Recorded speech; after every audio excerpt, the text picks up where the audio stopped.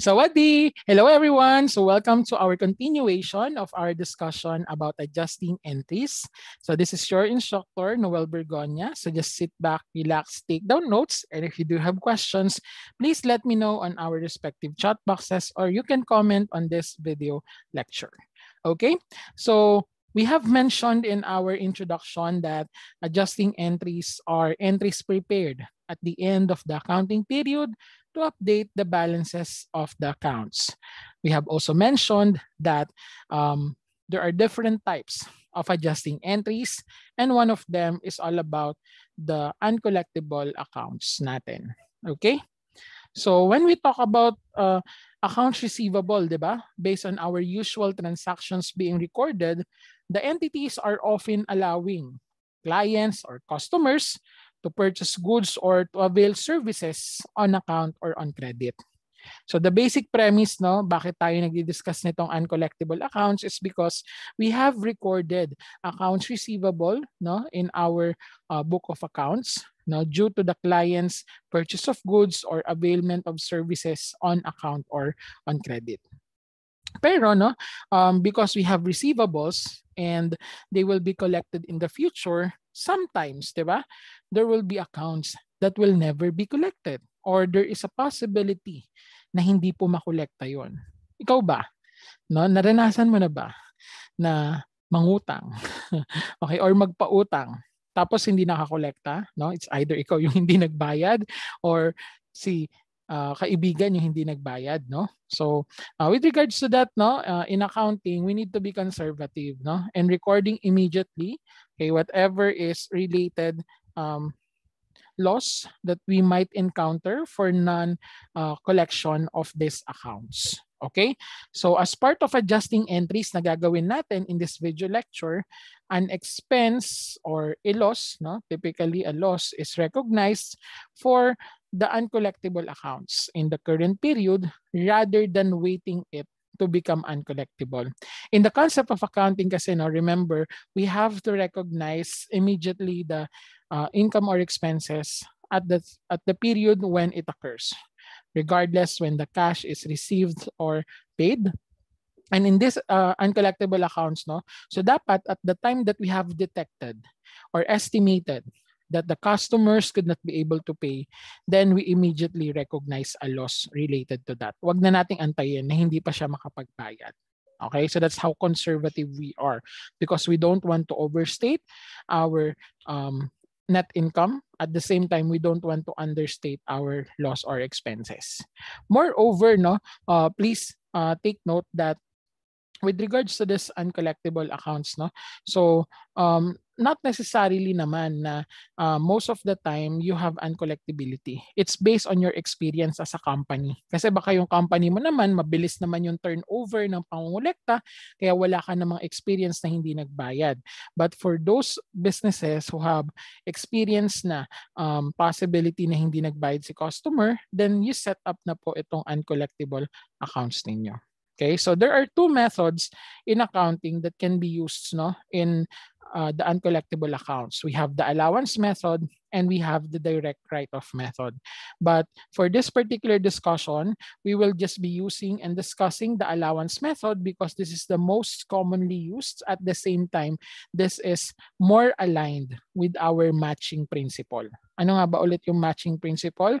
We match the expense okay, in the period uh, where uh, the income was recognized. So, kaya natin ni-recognize immediately yung expense rather than waiting it to be uncollectible. It's because we want to match it with our income. Okay? Yung direct write-off kasi, one of the, uh, kumbaga puna sa kanya is it does not generally um, talk about matching principle. Kasi sa direct write-off, kung kailan lang hindi magbayad si customer, then saka mo lang i-record yung loss. Okay? So we don't want that. We want to immediately recognize it at the time that it was estimated to occur. Okay? So let's focus on allowance method. So ano po ba tong allowance method natin? Again, class, ha, going back no, dun sa previous slide, the basic premise why we are going to discuss this uncollectible account, it's because there are possibilities that the customers where we have accounts receivables no, are not going to pay us or estimated that based on our experience, no, we are um, having problems or difficulty in terms of collections, thus recognizing a loss related to that immediately. Okay, at the period it was estimated. So in terms of allowance method, this recognizes um, the loss if account receivable is already doubtful of collection. So mas aligned siya doon sa diniscuss natin kanina. At the same time, this allowance method will uh, be using what is so-called allowance account. Okay, so allowance for doubtful accounts, uncollectible accounts, or bad debts. These three terminologies na doubtful accounts, bad debts, at saka uncollectible accounts, isa lang po ang pinapatungkulan yan. Yung possibility na hindi makapagbayad. Okay, so either of the two what uh, will appear in the chart of accounts niyo that means uh, with regards to uncollection. No? Um, please take note lang class ha na yung titles na to kung ano man yung minention sa ating may encounter na problem, yun po yung gamitin natin para at least align tayo. Kung bad debts ang ginamit, then we use the allowance for bad debts. Uncollectible, edi uncollectible accounts ang gamitin natin. Okay, so this allowance account is a contra account. So um, kung babalikan natin yung module number through 2 kung naalala ninyo no so we have different types of accounts we have um, the usual account natin, no, which has a normal balance. And then I have introduced already your uh, contra account. Okay, so let's define contra account again. Pag sinabi mong contra account from the word itself, contra, it contradicts no, the usual account. And ano yung kinokontra nito? This actually contradicts your accounts receivable. So kung account receivable, ang kanyang normal balance ay ano class? The normal balance is debit. So being a contra account, allowance for doubtful accounts is considered as having a normal balance of credit. Okay? So this is actually our first contra account na itong allowance uh, for doubtful, bad debts, or uncollectible accounts. So please remember that. no. In the future, we will encounter naman yung tinatawag natin na adjunct account. Uh, by the way, adjunct account is an account that was being added. Okay, itong contra deducted, ito namang um, adjunct added. Pero we will not encounter it yet here in adjusting entry. No? So scrap muna natin yan, nabanggit ko lang. Okay? So again, we will have contra accounts. And again, we use allowance method because it produces better matching of our income and expenses based on the concept of matching principle. Okay, so I hope that that is clear. Again, if you do have questions, please let me know on our respective chat boxes or you can comment in this particular video lecture. All right, so let's proceed with the next slide. So I just want to show you lang in this uh, slide, no, the sequence of the entries that will be encountered when we use allowance method. So we will just be focusing here with regards to adjusting entries, no, the uncollectible accounts at the end of the accounting period. Ito class, pinapakita ko yung pro forma entry. Pero sa mga succeeding slides, doon naman natin ipapakita yung ating computation kung paano makuha ito. Okay? So, kapag meron po tayong um, uncollectible accounts, so we will be debiting an expense account. Okay, so debit uncollectible accounts expense, okay, or bad debts expense, or doubtful accounts expense. So depende sa title na nag-fit doon sa problem na sinasagutan natin or whatever is in the chart of accounts. Okay? So we have expense. Sir, bakit expense hindi naman natin nagamit? Again, the premise why we are debiting expense because we have incurred a loss related to the possibility of uncollections. Okay? And then we credit our allowance for uncollectible accounts. So this is yung binanggit natin kanina na contra account. Okay? At ang normal balance ng contra account ay what? Credit. Sir, na-meet pa ba natin yung requirement na isang real, isang nominal? Tignan natin. No? So the uncollectible accounts expense is an expense which is a nominal account, 'di ba? So this is a nominal account or a temporary account. So check tayo diyan. And then the allowance is a contra asset. Ang kinokontra niya ay receivable. So ito ay isang contra asset. At again, even though it's a contra asset, so this is also considered pa rin as a real account. So yes, we have met the requirement of adjusting entries no, to have at least one nominal and one real account. So ito yung makikita natin mamaya pag nag adjust tayo, no? debit uncollectible accounts or bad debts or doubtful accounts expense and credit allowance for uncollectible accounts, bad debts or doubtful accounts depending upon the title which will be used in our um, problem or in the chart of accounts. Okay? So are we clear on that? Um, as to the computation of the amount to be written there later po sa mga susunod na slide. Okay? So yan yung focus natin, yung adjusting entry. Um, in addition, no, so um, just in case that we will encounter in the future uh, something that will happen to the receivable that is related also to the allowance method pero hindi naman adjusting entry, okay, ito po yung mga entries. Okay, so what if there is a write-off?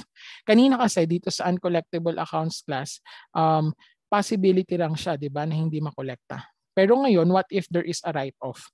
Pag sinabi nating write-off, this is already eliminating. No? Tatanggalin mo na talaga. Yung tipong, yung kutob mo, kutob mo, hindi mo makukolekta, kaya ka nag-adjusting entry.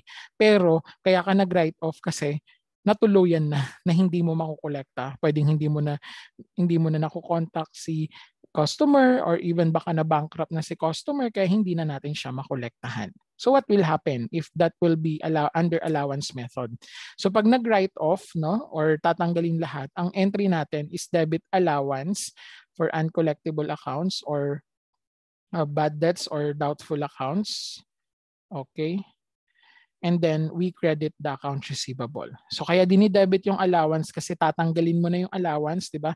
Nag-expect ka na nung una kaya ka nag-adjust, ngayon natuluyan na, tanggalin mo na yung allowance and then yung receivable na related to that tatanggalin mo na para hindi ka na malito kasi wala nang pag-asa. Charot lang. Okay. Wala nang pag-asang makolekta. So ayun ha, that's a write-off. Pero we, again, we will not be discussing further this since we're just focusing on the adjusting entries. Okay? Then, if ever, ito yung maganda, no? Even though we have written off the account, no? Inexpect natin hindi makukolekta, natuluyang hindi nakolekta, pero bigla siyang bumalik kagaya ni X. Charot lang. Joke lang. Corny ni sir, no?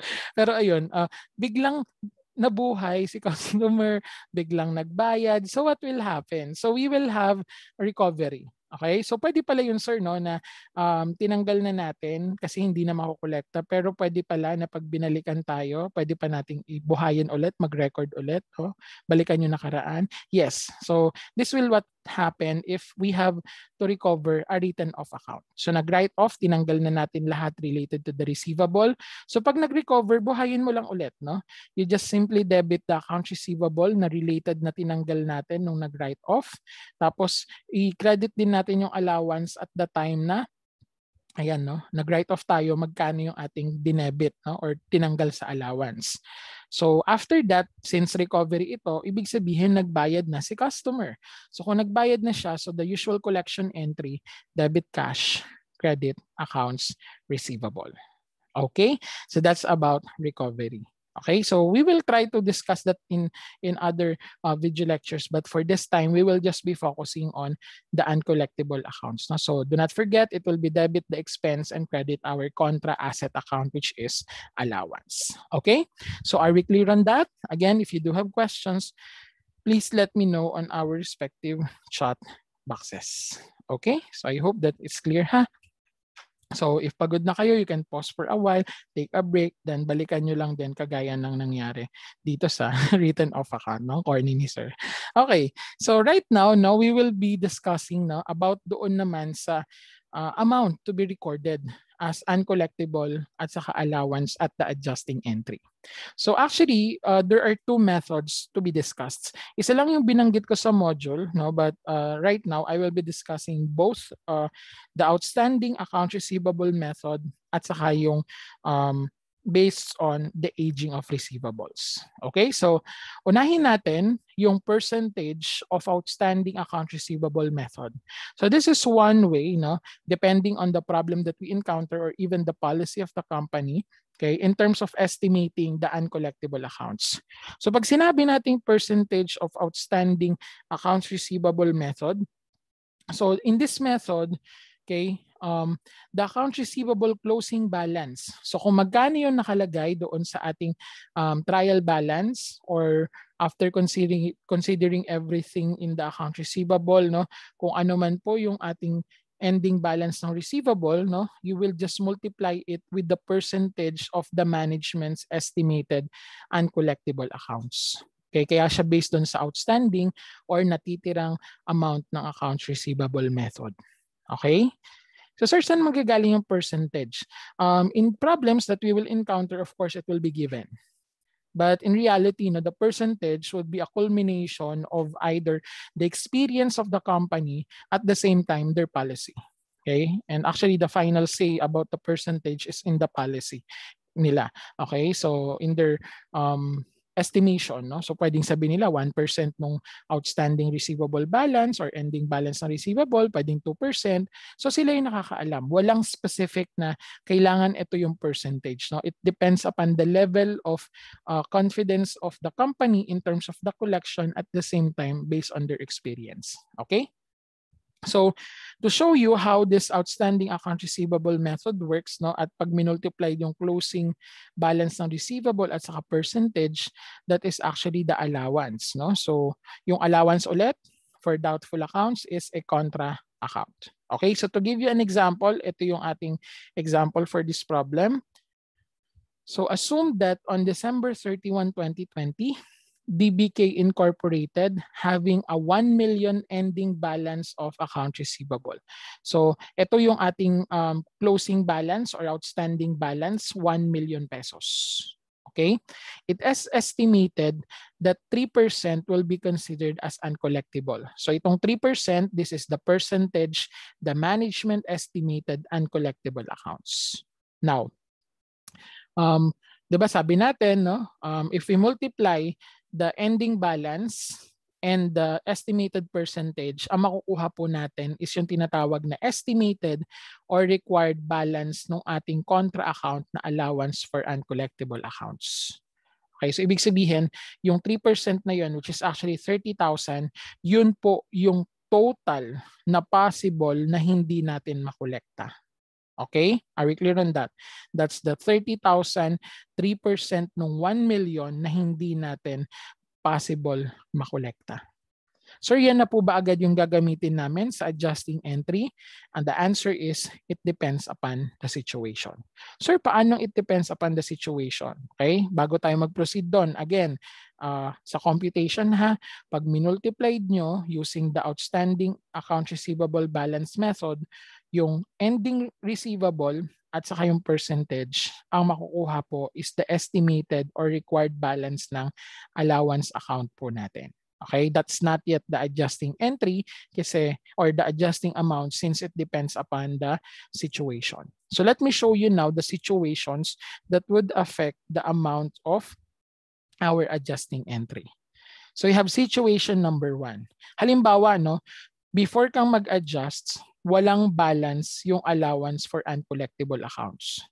Okay, sir, possible ba yon na walang balance yung uncollectible accounts? Sir, paano before adjustments? Ibig sabihin lang, no, uh, kung titignan mo yung accounting record mo, di ba, kaya ka tayo nagkakaroon ng allowance, it's because there is a possibility of uncollection. Now, if in our problem to be stated here or even in the reality, no, wala kang balance before adjustment. Baka kasi in the previous time or previous period, baka lahat naman nakolekta mo, no? Wala kang expectation na hindi makukolekta. So kaya no balance before adjustment. Okay, so what will happen? If there is no balance before adjustment or wala kayong nakita sa problem kagaya nito, no, hindi naman sinabi na may balance ng allowance before tayo mag-adjust. Okay, so ang gagawin po natin is kung magkano po yung na-compute na allowance for uncollectible account, that should be the amount already of our adjustments. Okay, ulitin ko, pag walang balance before adjustment, pag tinignan mo yung problem, walang nakalagay na, let's say for example, this is 2020. Halimbawa, walang nakalagay na January 1, 2020. Okay, yun yung beginning balance na nanggaling last period, no? Walang nakalagay na allowance or baka wala rin nakalagay na December 31 balance before adjustment no um walang nakalagay, silent, no? Hindi mo makita. So we will assume that there is no balance before adjustment. Okay?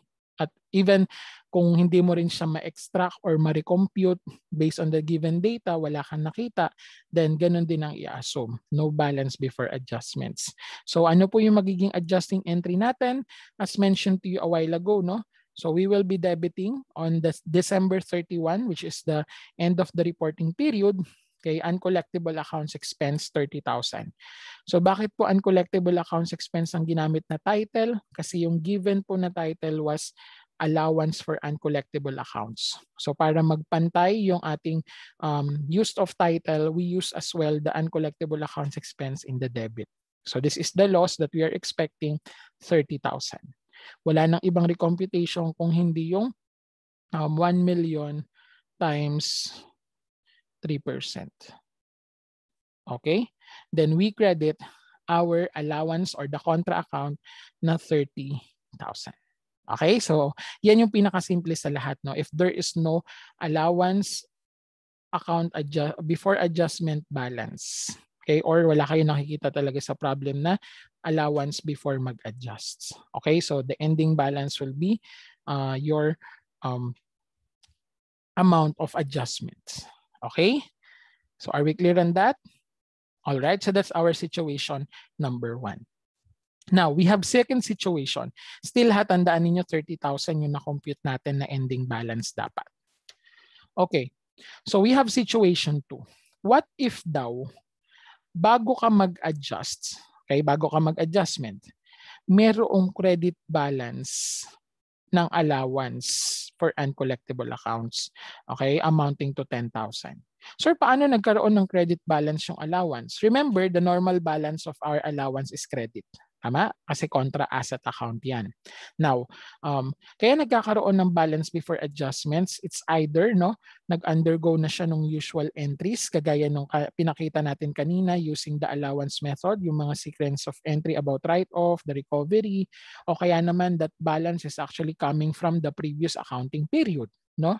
Kasi baka may expectation ka doon, ang expectation mo lang 10,000 okay, based on computation. So kaya merong credit balance before adjustment. Please take note ha, credit balance before ka mag-adjust, which is the normal balance of allowance. So what will happen? Will it affect our amount of the adjusting entry or not? The answer is yes, it will affect. No, So um, still on December 31, the entry was debit and collectible accounts expense, but by this time, it is already 20,000. Okay? Not 30,000 na. And credit allowance for uncollectible accounts, 20,000. Again, what's the reason bakit 20,000 na lang? Kasi po, parang ganito lang yan. Pakita ko yung T account, no? You are familiar already with the T account ng ating allowance. Okay, anong normal balance ng allowance? Credit, di ba? So nang nag-compute tayo kanina sa previous slide, ang na-compute natin na required balance ay dapat 30,000. Pero bago ka mag-adjust, meron ka na daw balance dyan na 10,000. So tignan mo, no? 10,000 naka-record na. Kailangan maging 30,000. So alangan naman i-adjust mo pa siya ng 30,000. Eh di ba dapat magiging 40 na. So mali na tayo. Kaya ang dapat na adjustment amount lang natin is 20,000. Okay, so it is 20,000 because your 30,000 na computed na ending balance minus your credit balance before adjustment na 20,000. Okay? Para kasi ang mangyari, 10,000 bago mag-adjust plus 20 na in-adjust. So ang ending talaga natin ay 30,000. Okay? So that's how it works. Ha? Pag credit balance before adjustment, dinededuct yung amount na yon para makuha yung ating adjustments.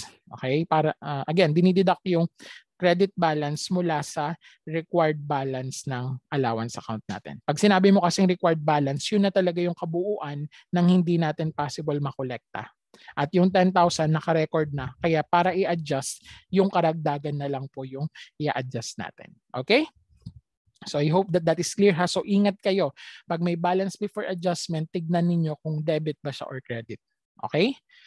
And then bakit po kailangan tignan debit and credit? Kasi magkaiba siya ng treatment. So itong situation 3 naman, no, it is uh, in the assumption where there is a debit balance naman bago mag-adjust. Ayan. Sir, bakit na naman may debit balance before adjustment? Um, debit balance in the allowance account only happens before adjustment. Okay? Always yan. Hindi pwede na magkaroon ng debit balance ang allowance after mo mag-adjustments. No, that's not the case. Okay, so debit balance can only appear before adjustment. So the possibility why we have a debit balance, it's because pwedeng yung kaninang pinakita kong series of entry in the allowance no is um, nangyari and then nung tinignan mo ay nagkaroon ng debit balance. Most likely baka mas malaki yung ating tinatawag na write-off Okay? Mas malaki yung ni-write off mo kesa doon sa na-recover mo. Try ninyo, ang na-write off is 10,000. 'Di ba naka-debit yung allowance. Tapos ang ni-recover mo lang is let's say 5,000. So ibig sabihin, meron kang debit balance, okay, sa allowance. So what will happen if there is a debit balance? So nakalagay dapat sa problem yan pag tinignan nyo ha or in your T account. Tignan natin. Pag T account ang ginamit natin for allowance, again, anong normal balance? Credit. Kaso, yung balance mo bago mag-adjust ay 10,000. So lagay ko sa debit ha, 10,000. Tapos, ang kailangan mo, nag-compute tayo kanina, how much is the percentage of outstanding receivable balance method, dapat maging 30,000. Oh, so magkano i-adjust natin? Nasa debit yung 10, 30 dapat sa credit. So 'di ba dapat mas malaki yung adjustments natin. So the adjustments is actually 40,000. Kasi 40,000 credit minus 10,000 debit so that will still be equal to 30,000 credit. So pag may debit balance before adjustment which is in situation 3, ang gagawin po natin is to be added. Okay, kaya yung ating adjustments would be debit uncollectible accounts expense 40,000 and credit allowance for uncollectible accounts 40,000. Okay, again, that's because the debit balance before adjustment na allowance needs to be added to the computed required balance. So nakita nyo na yung pinagkaiba ha. So make sure that you check properly yung problems na sinasagutan ninyo. Pag credit balance before adjustment, you need to deduct it para makuha yung adjustments. Yung debit balance naman before adjustment, okay, kailangan i-add doon sa required allowance para makuha yung adjustments po natin. Okay? So I hope that that is clear ha. So we have situation 1, 2, and 3. So hindi ko naman sasabihin kung ano situation pagdating ng uh, pagsasagot ninyo klasa but I want you to appreciate and to check uh, the problem no based on the data given and apply whatever we have given here based on situation 1 pag walang um, balance before mag-adjust edi kung magkano yung computed ending balance ng allowance yun na po yun. Sa situation 2, i-deduct yung credit balance bago mag-adjust para makuha yung adjustments. And lastly, pag debit naman, i-add. Okay? So I hope malinaw yun ha. Again, if you do have questions, please let me know. Okay? So to end this uh, discussion natin, okay, so um, please take note class na sa ating um, financial statements which will be discussed in module number 5, no? Your receivable needs to be presented at um, a net realizable value or amortized cost. Sir, ano po yon net realizable value? That is actually the difference ng ating accounts receivable ending balance at saka yung ending balance ng allowance. Again ha, ending saka ending ha. So yung computed balance ng accounts receivable at saka yung allowance natin. So dito sa problem ni DBK Incorporated, no, pag tinanong kita, magkano mo siya ipe-present sa statement of financial position kasi asset itong ating allowance at contra account yung ating allowance, no? So it will be presented, ay, sorry, natabunan. Burahin ko ha. So again, the formula is the ending balance of the receivable less the ending balance of allowance or yung na-compute natin na required balance. So pag tinanong ka magkano ipipresent sa statement of financial position, yung ating DBK's accounts receivable, so it will be simply your accounts receivable ending which is given kanina sa previous slide na 1 million minus yung na-compute natin na ending balance ng allowance. Kasi 'di ba pag sinabi nating ending balance ng allowance, ito yung possible na totality hindi makolekta. So kung yung kabuuan ng receivable mo ay 1 million at yung total ng possible na hindi mo makolekta ay 30,000, thus we have 970,000. So yung 970,000 is the amount na possible na lang natin na makolekta and that is known as your net realizable value. Okay? Uh, other term for the net realizable value will be carrying value of receivable. Okay, please take note of this. Carrying value of receivable. Kasi yun na lang talaga yung natitira. Accounts receivable lang ito ha. Or ito rin po yung tinatawag na amortized costs. Amortized costs of accounts receivable. Kung magkano na lang yung possible na makolekta natin in the future. Kaya naka-minus yung ending kasi ano nga tawag ulit sa allowance? This is considered as a contra asset account. Okay? So I hope that that is clear. Again, if you do have questions, please let me know on our respective chat boxes. All right? So that's our first example about percentage of outstanding account receivable method. Okay. So to have an additional uh, example, so ito naman po yung example to natin. No? So again, you are asked of the adjusting entries for the year ended December 31, 2020. So a company's trial balance dated December 31, 2020 contains the following information. So at the end of the reporting period, December 31, 2020, may accounts receivable ka daw na 300,000 na balance. Tapos, ang allowance for bad debts mo was 2 million. Tignan mo, nakalagay credit. So, uh, alam nyo na yung mangyari dyan later. Then meron kang sales na 1,500,000. Um, wala tayong pakialam sa sales in this case since we are using the outstanding account receivable method. So kagaya ni Crush, ignore mo lang yan. Joke lang. Okay?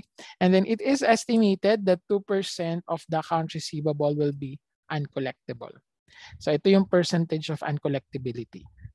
So Paanong gagawin natin? We compute first how much is the ending balance of the allowance, then consider the credit balance before adjustments. Okay. So yung 300,000 natin, which is accounts receivable, times 2%.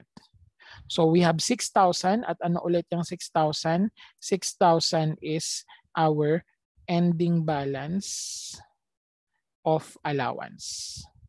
Or yan po yung ating required Yeah, the other term is required or estimated allowance. So dapat at the end of December 31, 2020, we are expecting that a total of 6,000 will be uncollectible. Okay? Then, um, bago mag-adjust, may binigay na 2,000 na balance, naka-credit. So, since we're looking for the adjustments, credit yon, i-deduct po natin siya para makuha lang natin yung adjustments which is 4,000 pesos. Okay, so 4,000 lang adjustments kasi we have 2,000 already balance before adjustment. So parang ganito lang ulit yan.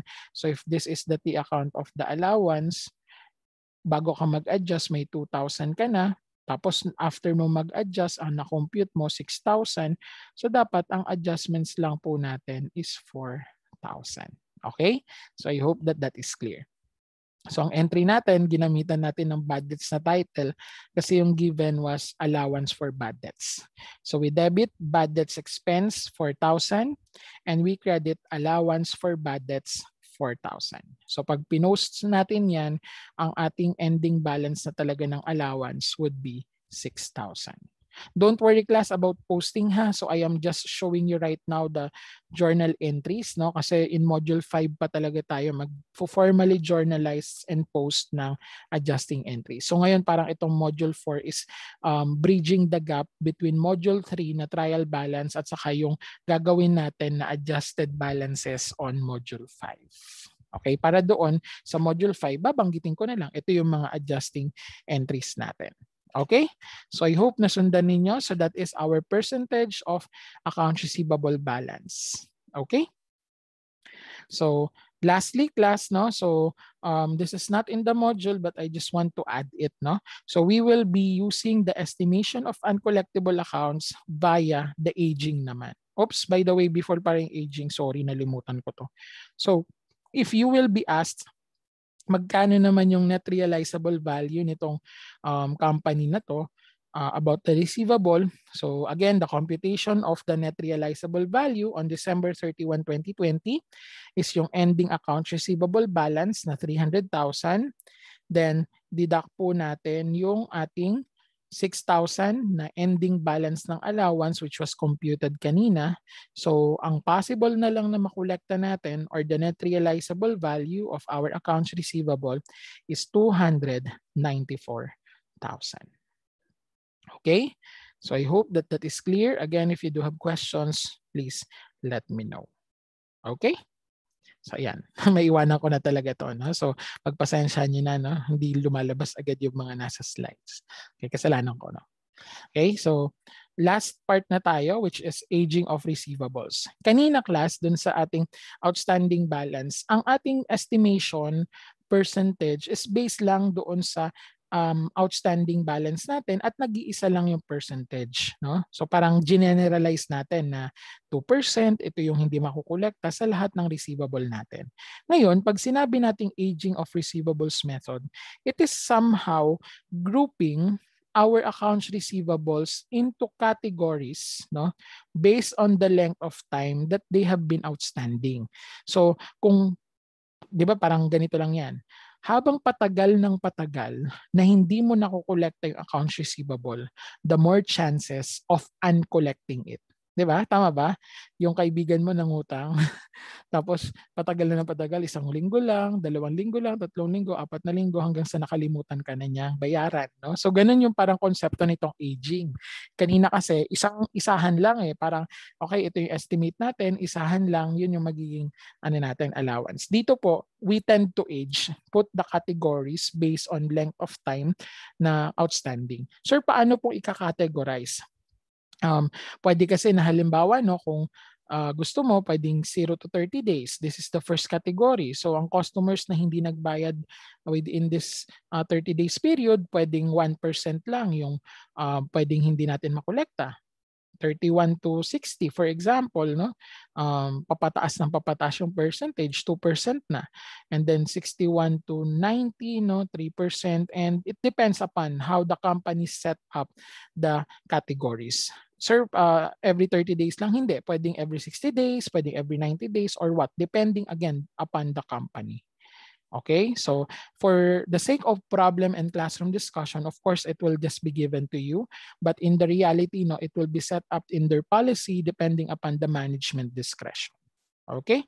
So ayan, we will categorize.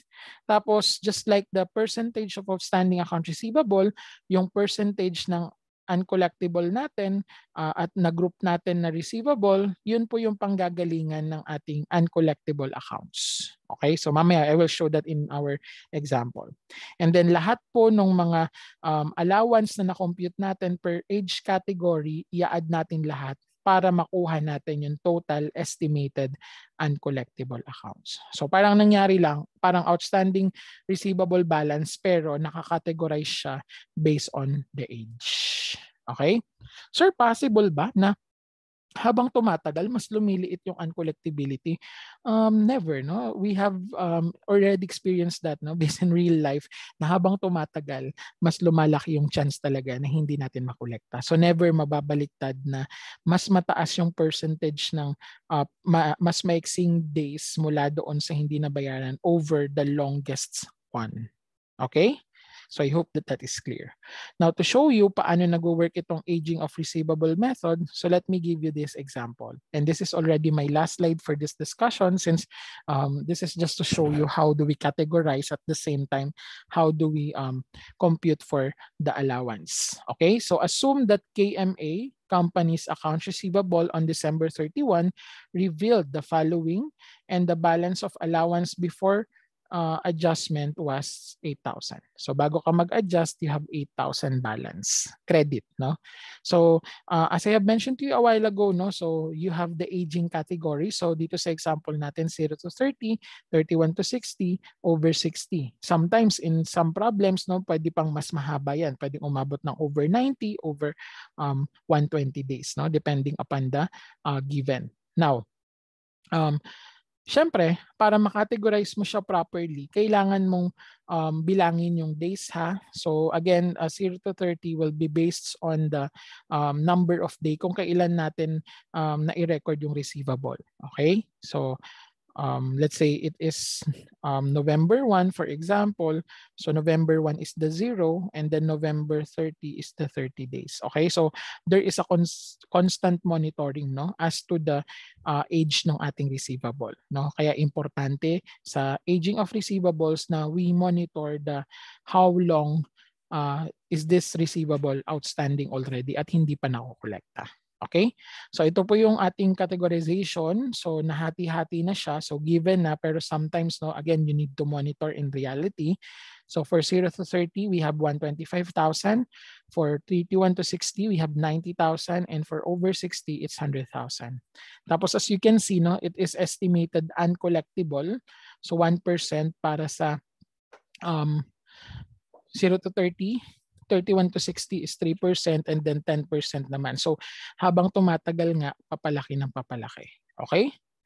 Ay bago ko iwanan to class ha, please take note ha, dapat ang multiplier natin ay si uncollectibility. Pag binigyan ka ng collectibility, So ano ibig sabihin ng collectibility? The chances of collections. Okay?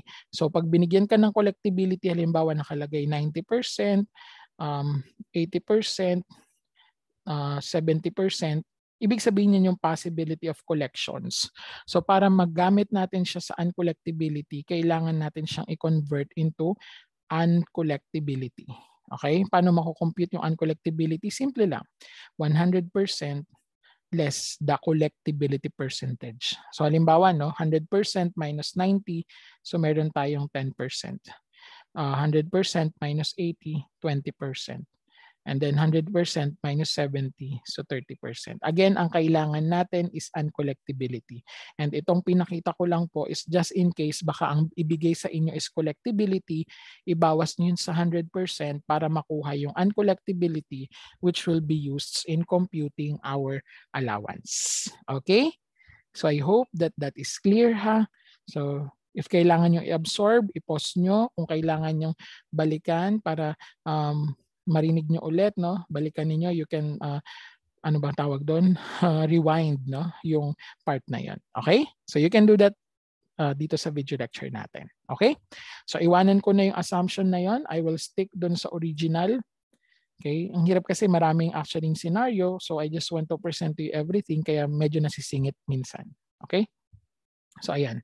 So ang gagawin natin pag na-categorize nyo, nalaman nyo kung magkano yung mga balances at saka uncollectible.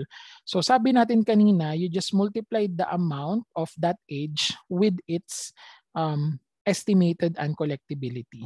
So for 0 to 30 days, no, um, na 1% ng 125,000, so yung possible na hindi makolekta is 1,250. Okay, on that age category. Sa 31 to 60 naman, you have 90,000 and then 3% yung uncollectibility rate. So we are expecting na 2,700 na possible na hindi makolekta for the category age of 31 to 60. Then for over 60 days, you have 100,000. Okay, and then 10% yung uncollectibility. So our um, allowance for this particular age category is 10,000. Okay? So sabi natin kanina, once you have already computed the per category, you need to total it para makuha natin kung magkano yung total allowance po natin na possible na hindi makolekta. So that's the total of 13,950. So ito po yung ating required balance ng allowance. Okay? Required allowance na hindi natin possible makolekta. Okay, so ito yung panggagalingan ngayon ng ating adjustment. So pwede nyo nang i-apply ulit yung kagaya kanina ng mga scenarios. So dito sa problem, we have 8,000 credit no, before mag-adjust. Okay, so ang entry natin would be ay doubtful accounts expense yung ginamit ha. So doubtful dapat ang gagamitin. So on December 31, 2020, debit doubtful accounts expense 5,950 and credit the allowance 5,950. So saan nanggaling yon? Remember, the required balance of the allowance is 13,950. So kung gagawa tayo ng T-account ng allowance, dapat maging 13,950 daw yung ending balance. And then, bago tayo mag-adjust, nabanggit na kanina na may 8,000 credit. Okay? So kung 8,000 in credit, kailangan maging 13,950. So yung kulang na lang po yung ating idadagdag, which is 5,950. So do not forget that if it is um, credit balance, then i-deduct natin siya para mag-arrive sa adjustments. Okay? So this is our adjusting entry. So again, if you do have questions, please let me know on our respective chat boxes. Okay? And then lastly, no, um, magkano yung net realizable value natin? So again, the net realizable value is the difference of the total receivable, which is 315,000, at saka yung required balance ng allowance natin na 13,950. So if I ask you magkano siya i-report sa statement of financial position, it will be a net realizable value or amortized cost or carrying value of the accounts receivable na 301,050. Okay? Sir, current, non-current. Remember, accounts receivable for the trading purposes is considered as current. Oh, by the way, sorry, FABM pala to. So, ayan, no? Um, we will be discussing that further in our succeeding discussion. Okay? So, I hope that that is clear, ha? So, again, if you do have questions, please let me know. Okay? So, that's our um, about uh, the discussion on the uncollectible accounts, the bad debts, or the doubtful accounts. Again, pag may mga questions, please let me know sa chat box or you can comment on this video lecture. Okay, so with that, no, I will end my discussion, but I will see you all in our next video lecture as the continuation of our adjusting entries. Okay, so I hope that you are all safe and have a great day, everyone. Kamsamida, kapan ka, sayonara. Bye-bye. Have a great day and